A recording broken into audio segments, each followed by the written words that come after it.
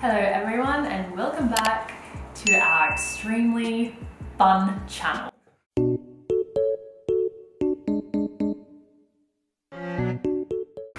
Um, today we we put out posts yesterday on our stories asking everyone to send through questions for our update video. So we're updating everyone on Endo, fertility, and babies, and a bit of wedding too. yeah, throw a bit of wedding in there. we'll go through the most frequently asked ones. The first question is just a general update on how our endo is going. Yes, it is. How's your endo going, Yot? Um, well, since I got my period back from being pregnant, I mean having Connor, I've had way less pain, which is awesome. But my periods are like way heavier. They're wild. It's just They're not a good savage in nature. just savage. But um, my period this time is maybe like gone back to half the pain I had. So hopefully it's not returning too quickly. But you know, a bit of Panadol, Nurofen, and heat packs, and I was fine. So that's good. That is good. And your, your pill? Yeah, so I got put on the pill because um, the heavy periods can obviously speed up the endo returning, um, but it was a fail for me. I was Mm. spotting the whole time, so I was still bleeding off it. I didn't like it. It wasn't for me. It was the first time I went on it. Um, my endo status, I'm actually doing really well. So I'm, I stopped breastfeeding in January, February. It's now June, and I've gotten, I think, two periods um, because I'm back on the pill, and the pill's doing really like amazing things for me. Except it made my boobs bigger, which is just so great. I didn't get any of that. Like the person I who wish needs you it. had gotten it, like, and I didn't. Yeah, I wish I could take that from you. Like they're huge again. So yeah, I'm I'm good. I'm getting one period before Greece and then continuing the pill until I get back. And then I'm getting off it. Okay, next question is Do we get monitored regularly for endo for people wanting to know what they need to do? Yeah. Yeah. If I'm feeling like something's going on and I feel like this isn't normal, I will definitely go and get a scan to check I haven't got like any wild cysts growing or Because you have like your cysts develop very quickly. Yeah, definitely. And I recommended that for her as well. I said go and get a scan because um her she's, she's my yeah. first point of contact. She's like, what does it, what does it mean when like I've got all this pain here and here, like pointing to her ovaries, right there. What does that mean? And I'm like, dude, go and get a fucking scan. Have you gotten a scan yet? Yeah, I did. I had a cyst, new cyst. Good for you. Thank you. Love that for you. If you notice like a change or development or something different, then definitely get a check. It's the only way to stay on top of it. We've answered how do you manage period pain before, but maybe just you can recap mm-hmm. people who haven't seen our other videos. So the best way to manage period pain is to A, exercise when you're not in pain because it helps all your regulate all your hormones Yes. and will um, in turn make your pain less. I know it's really hard to get your head around. I didn't believe it when Giorgio was telling me, but I have been exercising six days a week and I am pain free. And I don't know like how much. I just, I just Well, you did also have just- like a very large endo clean out before you Yeah. were pregnant, so I think that's also helped. Yeah Plus, I think the like exercising is definitely it definitely helped. yeah. Hundred percent.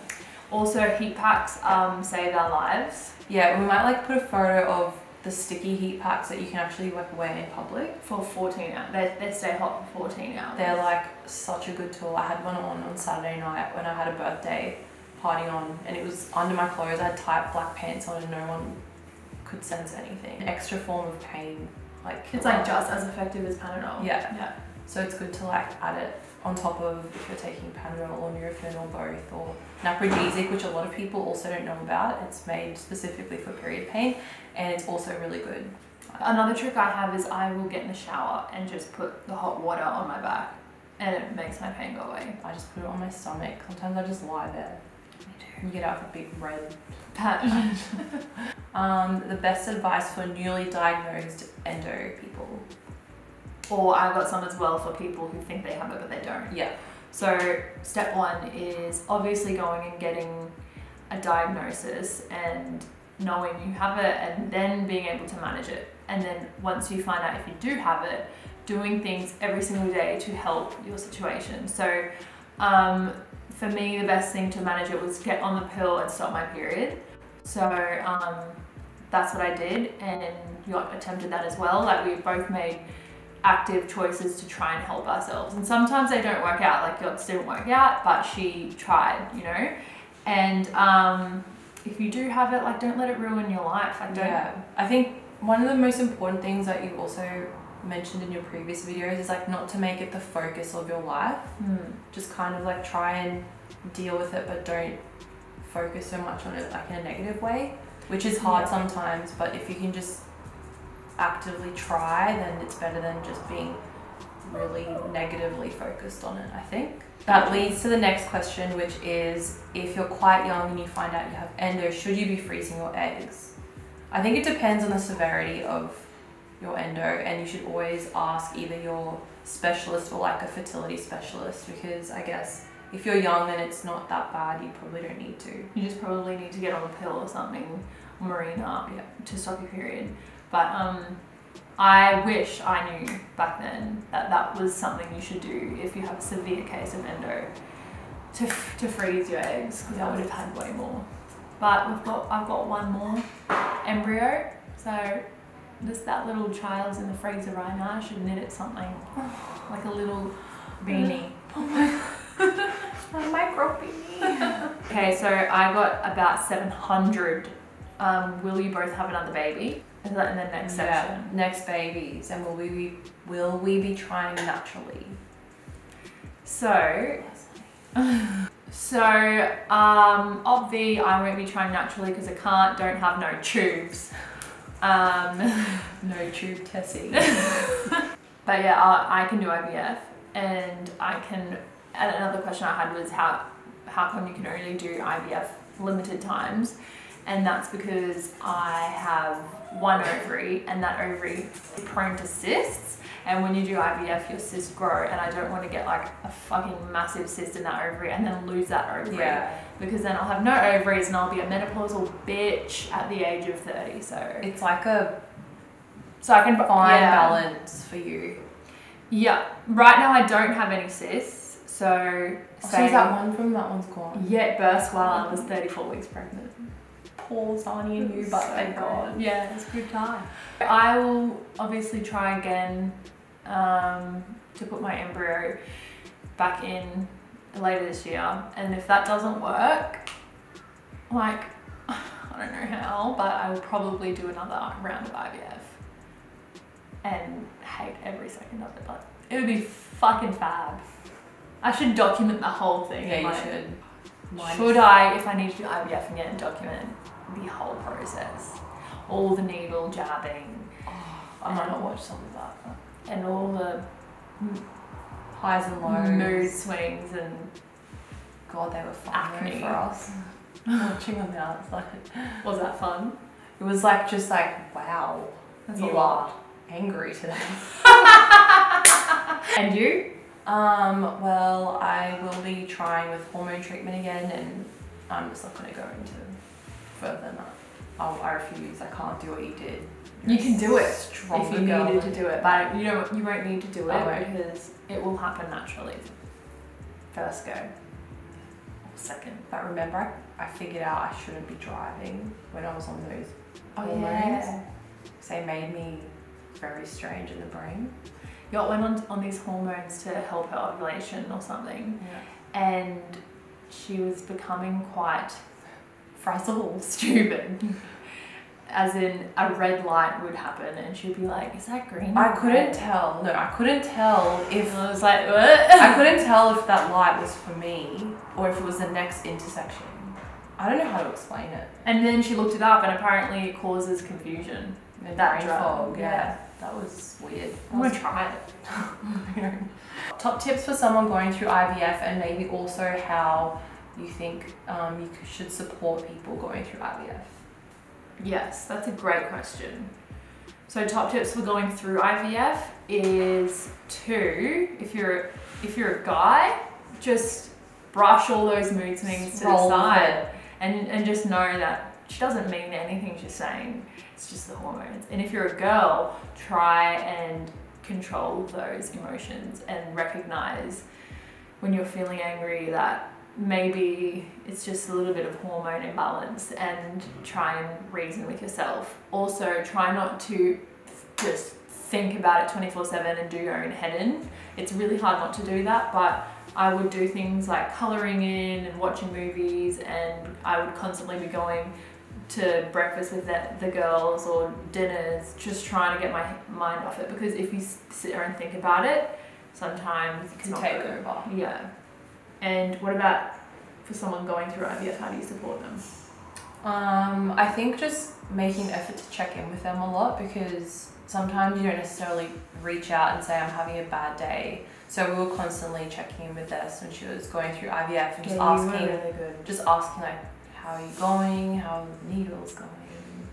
Um, and also they gave a lot of um, encouragement and support and like Yot would always be like, "You are so fucking strong," and just hearing it would be like, "Yeah, I am. Like, I can, I can do, do, this." It. So encouraging words is really important if you have a friend going through it. And also, sometimes like having to bring the person back down, like helping them see through their hormones, because sometimes that would be like, "Is it me or my hormones?" And then she'd explain something with kind of reason and be like, "Sweetheart, sweetie, that." You cray, you cray. It's just an orange juice. You just simmer, for example. But yeah, so I think that's um another good one. That was a good one. So everyone wants to know if we want more babies and how many we want each. So you, I definitely want more babies. Oh, way more game than me. Um, that's because I don't have to go through IVF. Mm. Like that's a big one. But yeah, definitely want more babies. Before we had Connor, we were really set on having three. Now that we've had Connor we're experiencing a child, like we'd be really happy with two, and we'll see how we go with a third child. I would love two, and that's it. I feel like you've always just wanted two. I just want two. I know I used to want three. Mm. Remember? I'd be like, I came from three, I want mm. three, but now I just want 2 mm-hmm. I would even be happy with one. But the Zani is just a gorgeous angel ball of energy, and I'm just happy with just that amount of energy. Yeah, but I'd be happy with um, one or two. So if I couldn't have any more, I'm so content. Um, but I feel sorry for Zani that she doesn't have siblings, so I bet not. Might may as well give her one. So, are we nervous to take our babies to Greece? I am. I'm nervous, but I also feel like I'm just gonna have to roll with it and see how we go. Because I, I don't really know what else to say about it. I. My child has a lot of energy. So? No, the plane ride. The plane ride, you're gonna have your own child to worry about. And my child cannot sit on my lap. Like she she refuses. She needs to climb up everything 24 7. Like, I had a photo shoot on the weekend with this photographer who photographs babies for a living, and she said my child had the most energy she's ever shot, ever. And I was like, Yes, you're nervous about the flight. Yes. Yeah, see, I've taken the approach of I'm expecting the worst, and I can only be better from that. He'll just have like a book in front of him and read the novel, you know? Yeah, but he also gets like the uh, when he wants to walking, you know. I'll just be like, no, it's reading time. I mean, I'm lucky because he's a bit older, which is the next question. How old are they now? So Connor's 16 months, one and four months old, and Zani is nine months. Yes. Yep. So they're seven months apart. So I think when they're that little, I think it's maybe not as easy because you can't really explain. I mean, you can't really to Connor either, but a bit more. So I've got like so many questions about my weight loss and my fitness and I like would be here all day. So I'm gonna do another video on my fitness um, journey and Yacht also has I have so many questions about Connor's speaking and development and a lot of people wanting ideas for wanting to know like what I do with him on a day-to-day basis, which is like a whole other video. So I'll do a separate one of that as well. Next question I've gotten a lot of is Are we speaking Greek to the babies? Yes. I think we're both around, like, their young, so their grandmas speak a lot of Greek to them. I speak Greek to Connor. Giorgio, I'm assuming, definitely would speak Greek to Zani. They both love Greek nursery rhymes and songs and that kind of thing. So they're definitely exposed to Greek. Probably not as much as I was, but Yeah, definitely. correct. Favorite brands or outfits that our babies like to wear? So I just deck Zani out in um, the US H&M and Zara. I find like Zara in Australia has shit stock, but in the US it's epic. So I just get it all from America and ship it to a PO box and then ship it to me. A US PO box and then ship it to me. And it's honestly everything that we have here but cheaper and better. Mm. I I definitely like have a couple of favorite labels, but I buy a lot of Zara and the H and M too. Yeah. Um, the Aussie labels that I love are August Bear by Billy and Bam Loves Boo, and I'm And also obsessed with Rylee and Cru that they showed me their website, and I'm obsessed with their stuff. It's so cute. And I also love Dawn and um, there are so many I can't think of them right now. Yeah, but they're like probably the most common I'd say that we get. Yeah, correct. I got a lot of questions about how we're coping with the babies and working. a lot of questions about it. Um, it is really hard. Like I'm not going to sugarcoat it. It it is. is. We're pretty much being full time moms and full time business owners, so it's intense. But I'm gonna say for both of us, we're lucky. We love doing both. Um, I definitely get a lot of help when I'm in the office. Um, everyone helps out a little bit. Plus, Connor is with um, both of his grandmas one day each a week, so that helps with work. Yeah. a lot.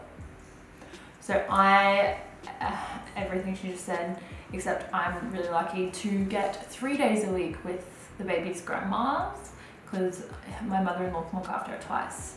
So I have three days, full days at work, and then the other two days I'm at home. And like to be honest, I don't. I'll get most of my emails done on my phone, and that's about it because Zani's full on, Yeah, and I can't. yeah. You have to, and and like I guess for me as well, I catch up a lot at night. Maybe like an hour, I'll do like a power hour every night where I just Same. catch up on the really important stuff. So if you are in the same position, I think allocating us like a little hour at night time, it relieves like any stress you have for the next day, and you can just concentrate on being like the best mom that you can be. So I got a lot of routine questions again. So are our babies still in routines? Connor is still in a routine. Zani is still in a routine. I mean, Zani will still have like bad eras. Like at the moment, she's got teeth coming through and she'll scream. It's like the cutest teeth I've ever seen. But if you just stick to your routine, like they'll go back into it. So Yeah. persistent and babies thrive off repetition. So if Connor you, loves it. yeah, so I think if you show them what they're supposed to do, they'll do it. If you don't show them what they're supposed to do, how, how do they know when to sleep and how much to sleep? You just got to you've got to teach them that, and that's why I think routine benefits our babies. A lot of people were wondering, um, they know that Connor doesn't watch TV or use electronics yet. Um, they want to know if Zani does, either of them. Yeah, no, she. I haven't put on TV around her. She will see um, my screen on my phone if I'm on it, which I try not. Same. I try not to be, but it's really hard. So Yeah. she will see my screen on my phone, but I don't put on anything to keep her entertained because I feel like when they're that little, they're supposed to just be a sponge and like absorb everything. So I don't think a TV show would be doing anything for her. I'm sure that will change Yeah. Um, when she can actually understand and get value out of the, Yeah. what she's watching, like education. Definitely. They're not like going to have nothing forever. Yeah, just at this point, I feel like it's just an overload on their brain, and I heard it affects sleeping. Mm. So I feel like no, I take my sleep very seriously. Very I don't want to have a child screaming because her brain's overloaded with colours. And that leads to the next question of how much sleep are we getting at the moment? I think we've been getting full night sleep for a long time. Yeah. I I'm- jinx it. But So my baby will maybe cry. I'll put her down at seven, and she might have a cry around nine, nine thirty. But I'm still awake, so it doesn't interrupt my sleep. But like hers is interrupted just because of her. Um, if she might hear us or her teeth hurt or whatever, and then she'll usually sleep till seven a.m. Actually, no, she'll wake up at six most days and then play in her bed till seven. I'm really lucky she, for some reason, doesn't cry in the morning. Okay, guys, so I'm gonna go through my wedding questions. I have a lot of them, so I'll try and answer maybe five, maybe four, don't know. um, the most frequently asked one was, Are you gonna video your wedding? So I have amazing um, videographers and photographers going over, so I am gonna video it, and obviously I want to have memories of that day. So I'll share it with you when it's made, and um, I'll try and get the girls to do stories on the day so you can have a look Oh, at. I'll spam. Just story the shit out of that day. Story the shit out of that day. Um, also, where am I going on my honeymoon? I'm, I'm, so my wedding is in Kythera, which is where Giorgio is from, and his whole family's there. So I'll be going on my honeymoon just with Giorgio, and Zani will be staying with her grandparents and the rest of the family for a week and a half. How are you gonna? Yeah, I don't know. I wanted to go to Italy for my honeymoon, but I was like, nope, I can't be Too that far away from Zani. So I'm just going around the Greek islands, like um, Santorini, Milos, and Mykonos. And um, that's just like a flight or two away from Zani. So I'm okay with that. But I'm not okay with not seeing her for a week and a half. I'm sure you'll get like so much spamming of live I'm better. live action. who designed my wedding dress and who is your wedding planner? So my wedding planner is Pavlo Creative and she's actually a good friend of mine and she is the most talented event coordinator She's amazing. like ever. So I'll link her below and obviously you'll see all the work she does and what she does for my wedding. Um, highly re- recommend her. And my wedding dress is getting made by Leah Da Gloria in Sydney. And um, I'm absolutely over, absolutely over the moon with uh, what she's created and amazing. the concepts she's taken from me and like made it fucking epic. So I Can't wait to see it next time. yeah, I'm really lucky I took you to that because you had such a great idea. Thank you. Yeah, so I feel like I can't wait for everyone to see you in this dress. It's it's not that good. It's not. It's like pretty good. your but- vision. Thank you. I can't wait for Ellen to cry. I reckon Liana will cry. Oh. Leon will cry too. Someone wants to know: Are you going to continue the intense fitness post wedding? And the answer to that is, fuck no, and I can't wait. I'm just. I have three weeks left of intense. I, I last week I trained seven days, and on two of those days I trained twice. But you are a machine. But I mean, like, a machine. no, I'm not. I am not maintaining this. Definitely not. I will. Try, I will definitely stay healthy and make really good food choices and train three to four times a week. None of this intensity. I got a question asking, do I have that overhang? Um, so hot. The overhang over the scar with the cesarean. Some people get like overhang. Oh, right. I didn't get wow Nelly. I didn't get the overhang um, luckily, but my scar did keloid, so I've got Mm. like a Little lump. like a lump scar. I don't know. I don't know if you can you fix that, guys. I don't know. Help me. If you can, or if you know if you can, can you leave a comment? Okay, guys, that's all of our questions done. Um, we hope you liked it and it was informative. And if you have any other pressing questions that you want to know, just leave them below and we'll try to get back to you. Thanks, guys.